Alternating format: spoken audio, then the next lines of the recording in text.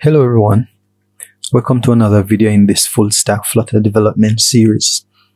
In this video, we'll continue to look at our restaurant API in an attempt to refactor it to make it more robust.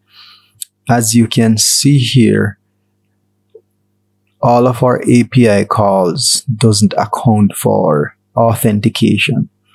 And the issue with that is that all the end endpoints to our backend requires a authorization header with a JSON web token in order for it to access the resource. And none of these methods accepts any form of token. And you might think that the best thing now is to, for example, add the token as a part of the method. But the issue with that is authentication is a cross-cutting concern. And if I should add a token to each one of these methods or calls, what would happen is that I will have the token spilling over to every feature or service in my app that requires authentication. And so the one of the best way to handle uh, cross-cutting concerns is to use the decorator pattern and to decorate the HTTP client so that we can set up the authentication header from there without the methods, without injecting it directly into the methods. But the thing is we cannot use this client because we do not have access to its public interface. And even if we do, we would have to uh, implement a lot of methods to so to solve this issue what i'm going to do is to create inside the terminal another flutter package known as common. So i'll go to the terminal and i'll go back to the root. And here at the root i'll say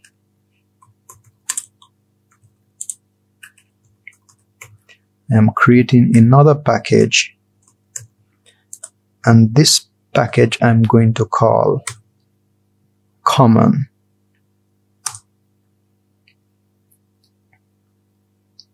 so I'll go ahead and create that and then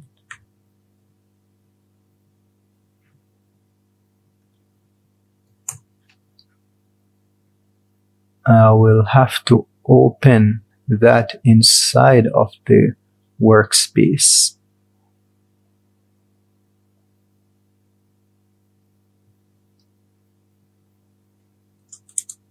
So to open that, I'm going to hit Control R since I'm on the Mac I'm not sure what the shortcut is on the Windows, but this will bring up the different uh, workspaces.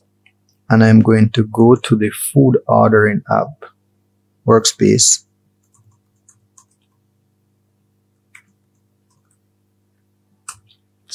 And I'm going to say go inside of common. Then hit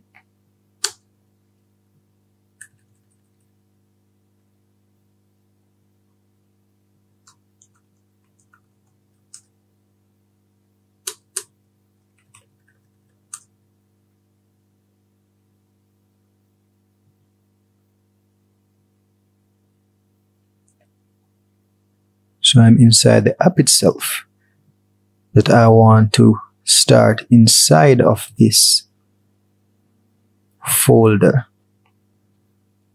So what I'm going to do is to cd into the common folder then start up Visual Studio Code fresh.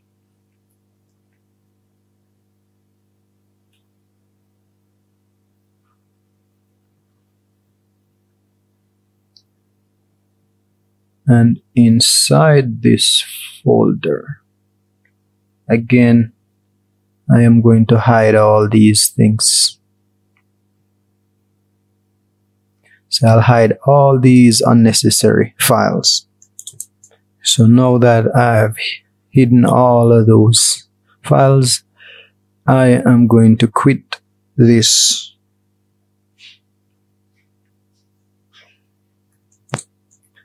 So I close the window and now I am just gonna open it here inside of the common folder. And so inside here is where I am going to create my own HTTP client, which will be used across the entire application.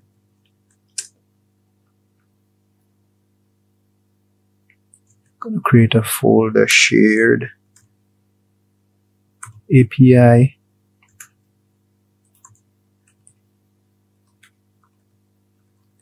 shared API infrastructure.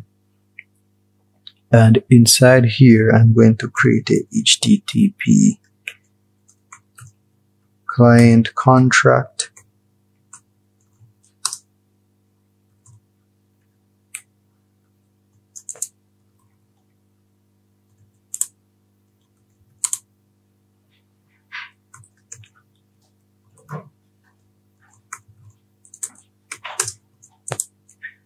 inside my client contract, I'll have two methods for now. I'll have a get method which accepts a URL and a optional header.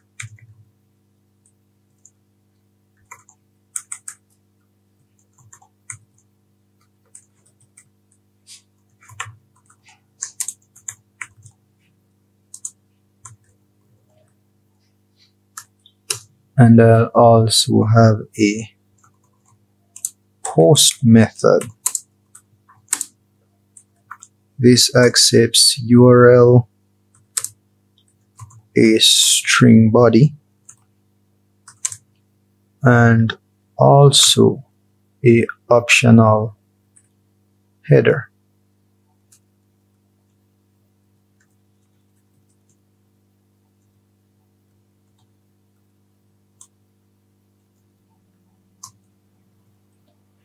Now both of these methods will return another class that I'm going to create a HTTP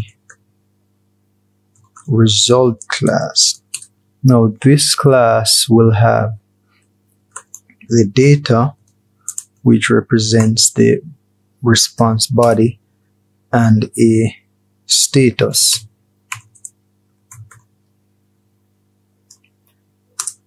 and this status I'm going to make into an enum that has either success or failure.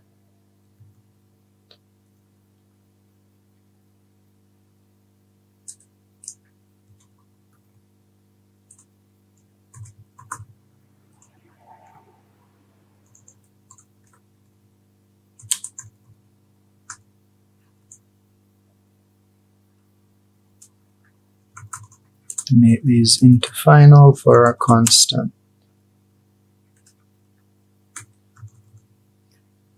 So now here, I'll say return a HTTP result.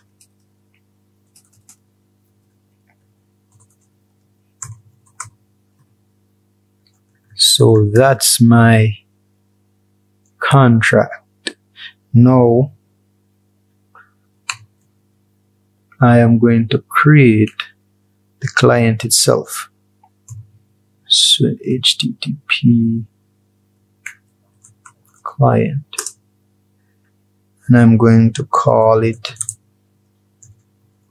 HTTP client implementation just so that the name doesn't clash with the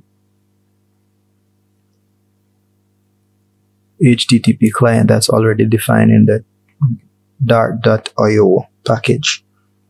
So this implements my iHTTP client.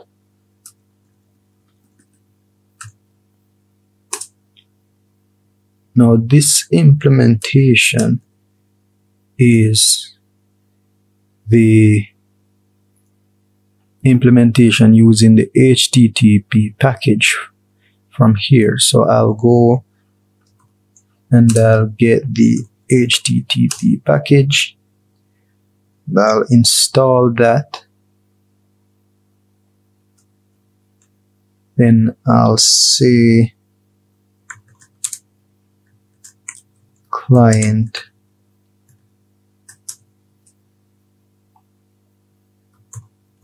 HTTP client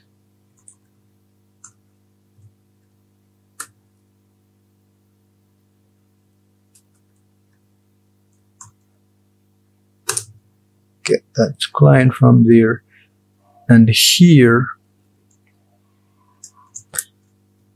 to implement these methods pretty simple. So I'll say response. Uh, client get they'll pass in the URL and also the header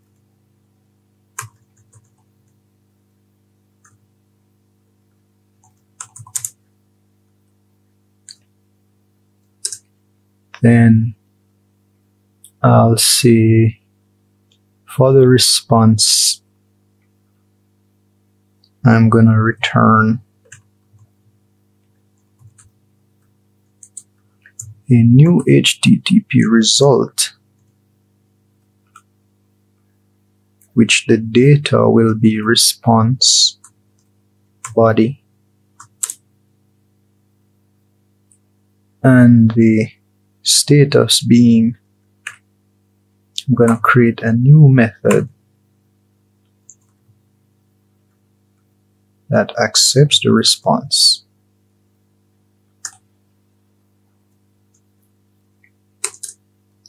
So this private method set status which accepts the response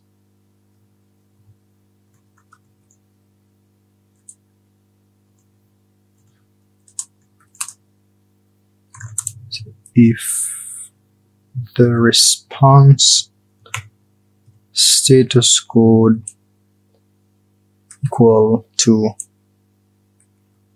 not equal rather 200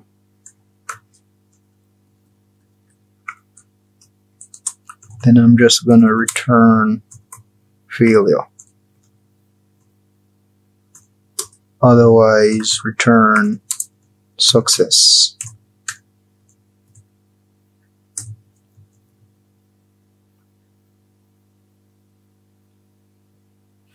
And my post method is almost the same thing. So I'm just gonna copy paste that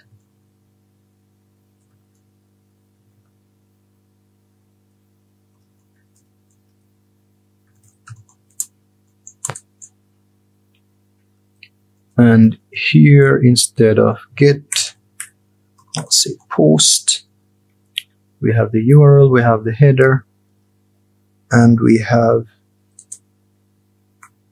the body. So that's the implementation of our HTTP client. Now we can go back to our restaurant. Module. And go to our pubspec YAML file.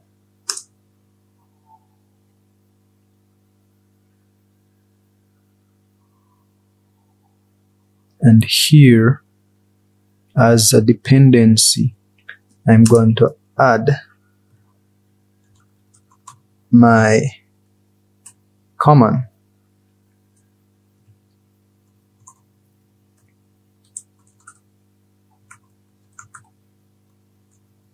Here I'm going to add the package, the common package. Then back to my restaurant API, I'm going to replace this client now with the IHTTP client from the common package. And as you can see, it is not there. So we need to export that. I forgot to export it in the common package. So I'll have to go back to the common package. I'll have to go to this file here, remove all this and say export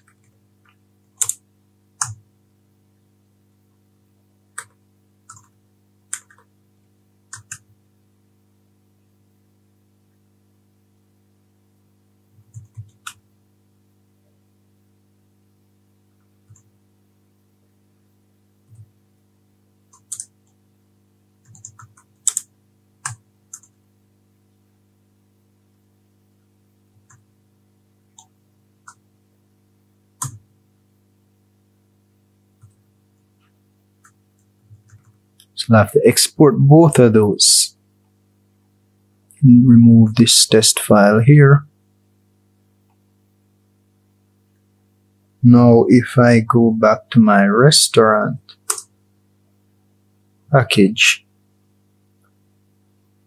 I should now be able to access this HTTP client.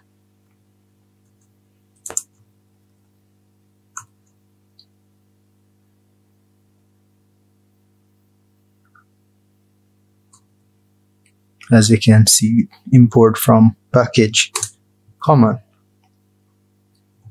Now everything is going to go haywire and now the refactoring begins. And also our tests everything is out of whack.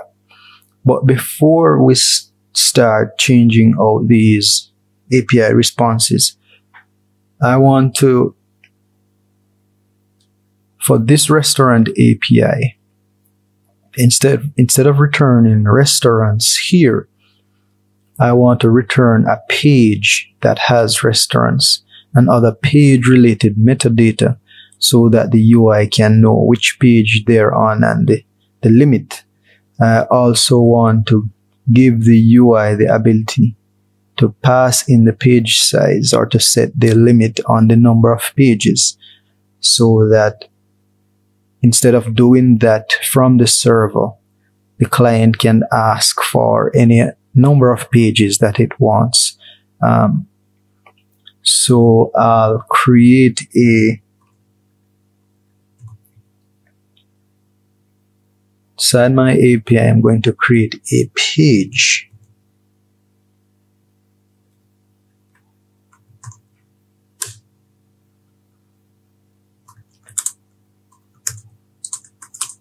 and this page is gonna have the current page.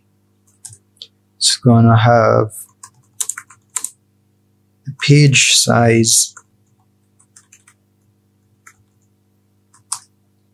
And also the list of restaurants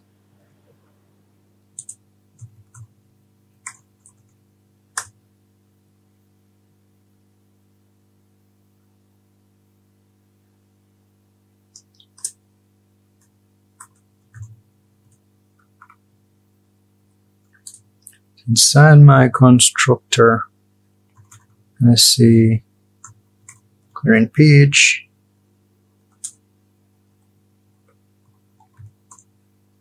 page size. Restaurants. Make all these required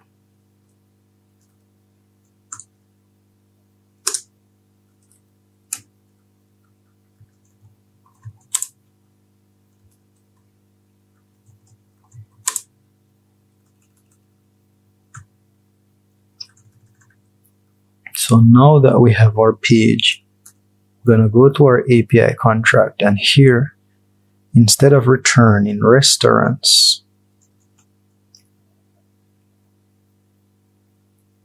I'm going to return a page instead.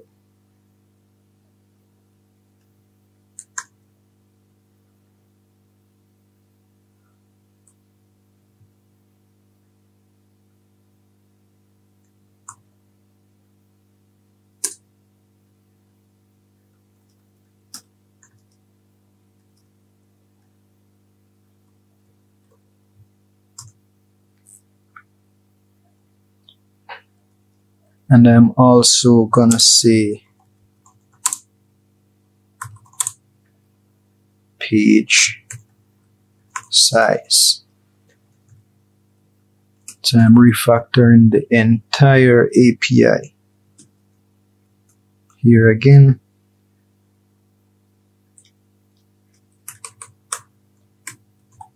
Not a list of page but a single page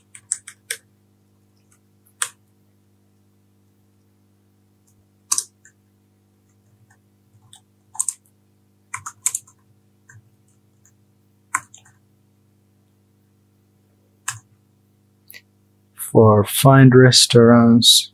It's a similar thing. Turn a page.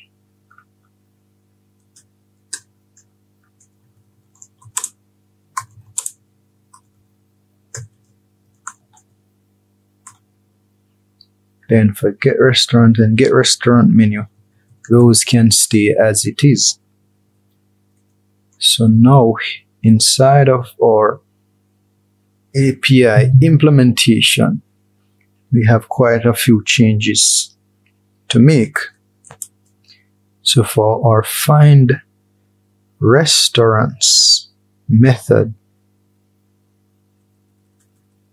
we need here the page size.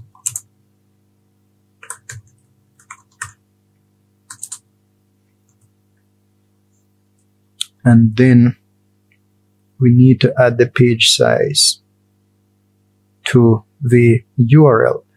So in this case, I'm going to say and limit equal page size.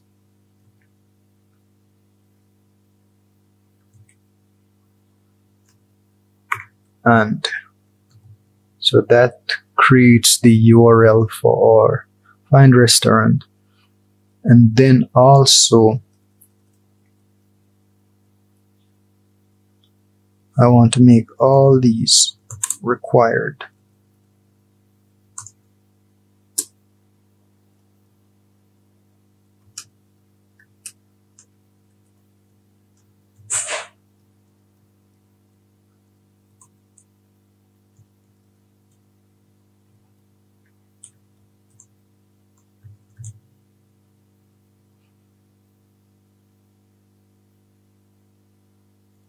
I'm also going to change all these responses to result.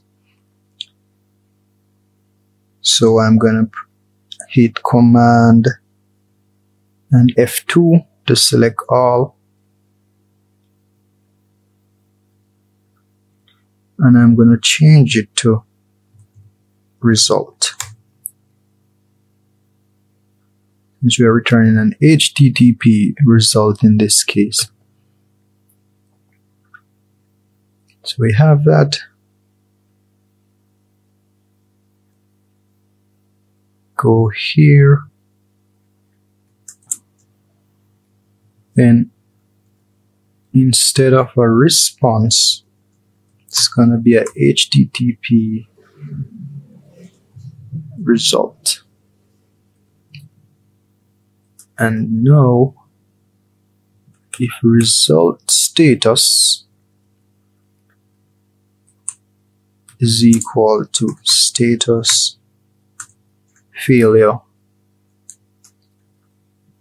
then return null.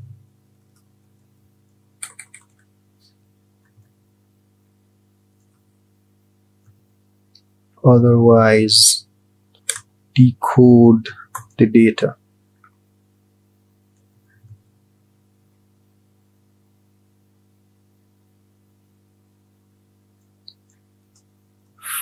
For this menu, this can be response.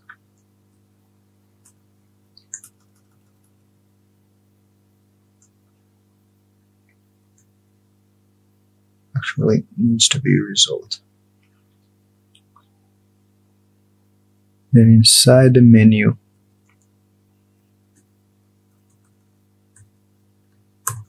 HTTP result, same thing here.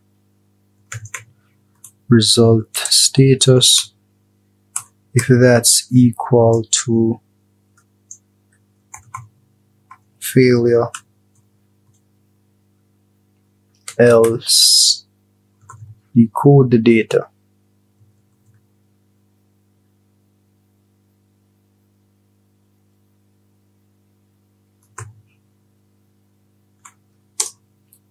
So inside of our find restaurant,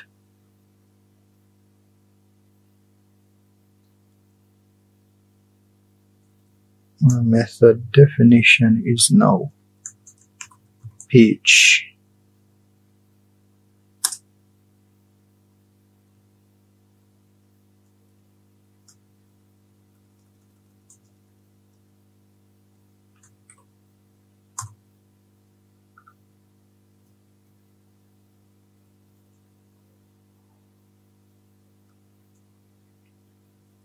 this should now return a page.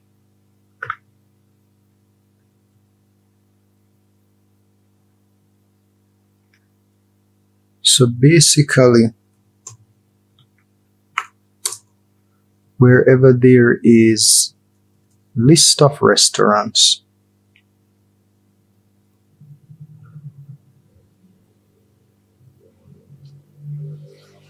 I am going to refactor that to return a page.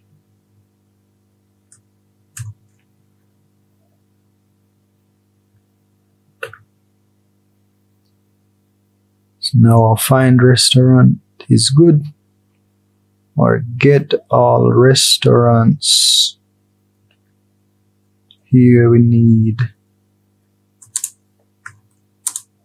page size.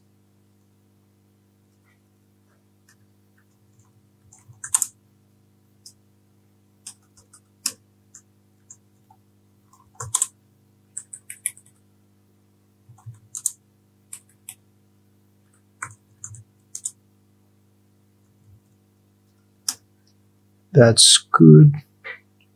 Or get restaurant result that's equal to failure. Then return null else the data. Then our get restaurant by id well here, here we need to also add the page size to the url so and limit equal to the page size.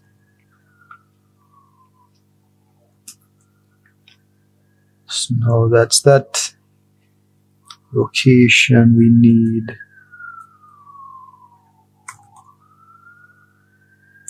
Or page size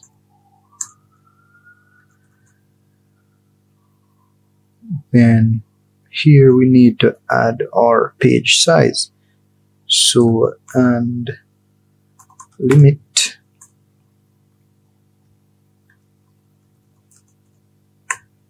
Page size. So that is the endpoint for our restaurant by location. That's good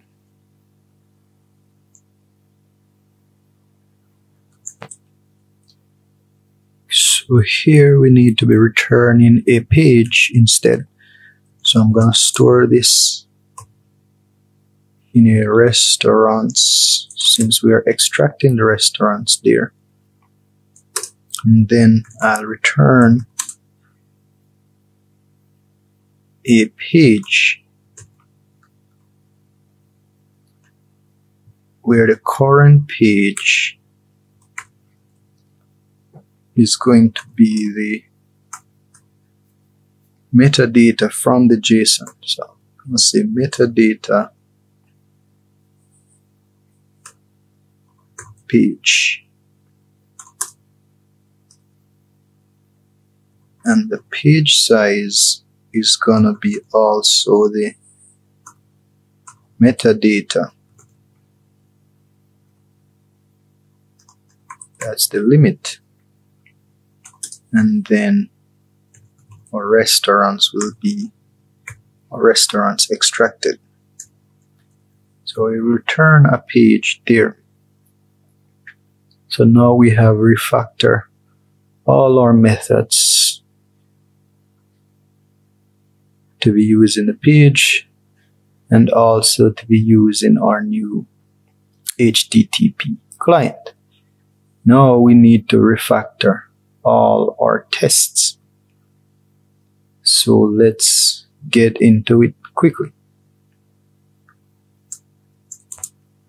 The first thing I want to do is to refactor our method here to return a JSON object that has both an array of restaurants and the metadata.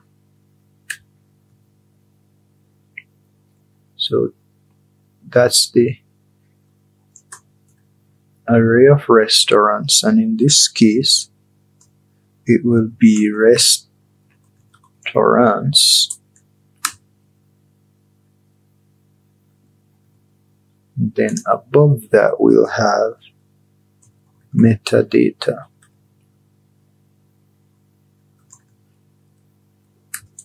This will be a JSON with page. I'm gonna just set it to one and the limit. I'm gonna set that to two. So there is our payload that we're expecting from our server to be like this. I also gonna change the client to I HTTP client.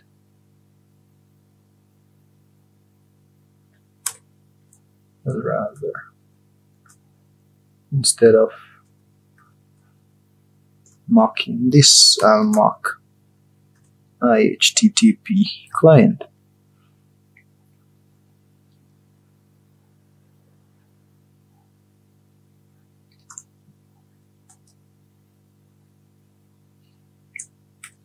So I'm gonna comment everything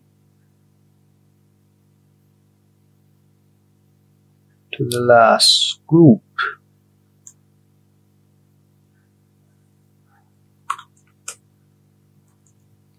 And I'm going to test group by group.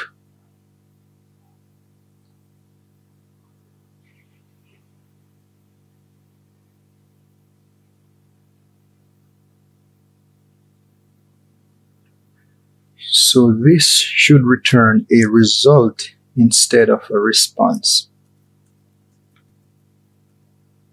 So this should return a HTTP result.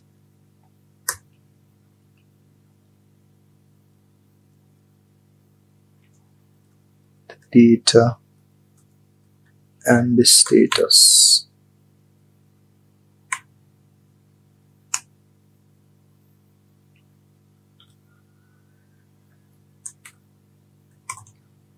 Success. So our result should look like this JSON encode. We have a JSON object with the method metadata and the restaurants. then we need to pass in the page size. So I'm going to rename this to page. So page restaurants should be null or should be empty.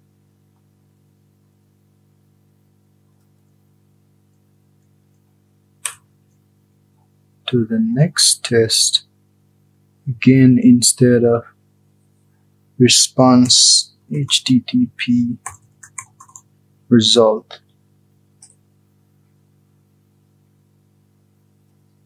This should be a failure.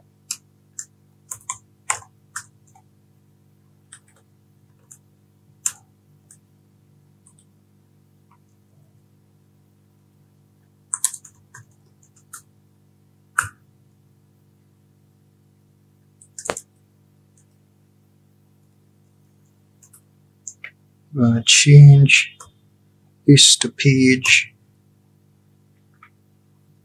then I'm gonna say I'm expecting page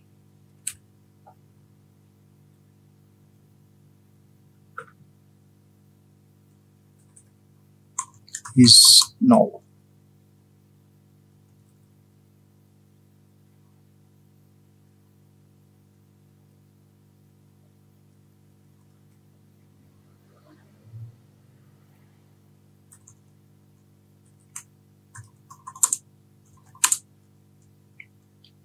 so that's that.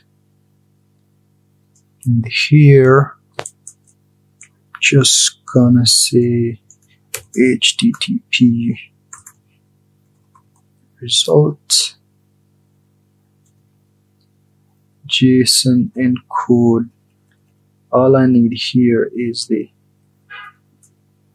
method itself since it's returned in the correct format. And then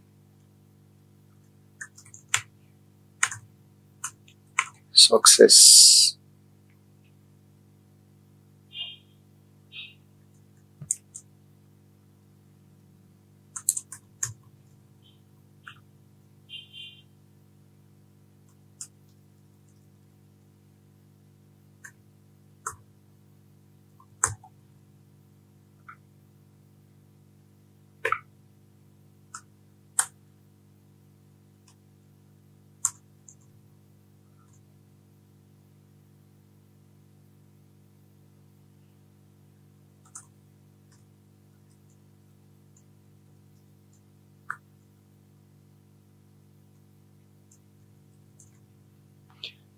So if I should go ahead now and run these tests, let us see what will happen.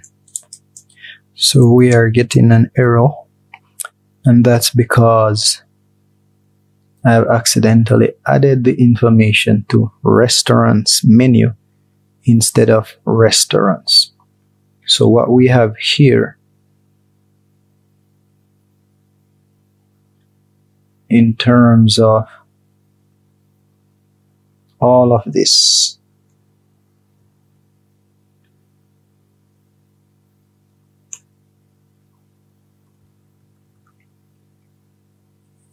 This should be inside of here.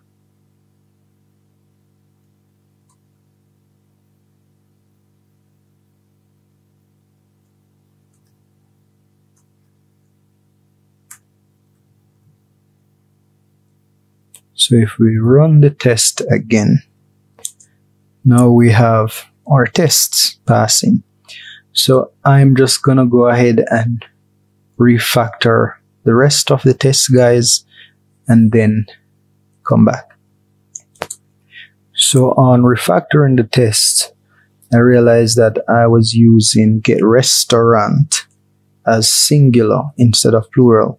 So go ahead and change that in the API contract to say get restaurants since it's a list and also inside of the API implementation itself. So it's say get restaurants and there you have it. So now all my tests are passing. Everything is good. So we have completed the refactoring of our API. So our API is no good. We are using our own HTTP client so that we can add authentication to this client easily so that such a concern won't spill over into the other modules by passing tokens to every method. So that is good. So thank you for watching this video guys. In the next video, we'll move into creating our states using Cubit and see you in the next one. And remember the code is on GitHub so you can go there and check out the code and try and refactor the tests by yourselves to see how that goes. So see you in the next one.